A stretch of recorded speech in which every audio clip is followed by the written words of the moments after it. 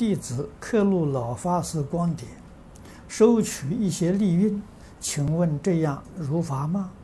是否会下地狱？没那么严重，没那么严重啊。那么收取一点利润呢，就是合理的利润呢，是可以的。啊，如果是高价出售啊，啊，那个那就错误的，啊，那错误的啊。合理可以，佛法是通情达理。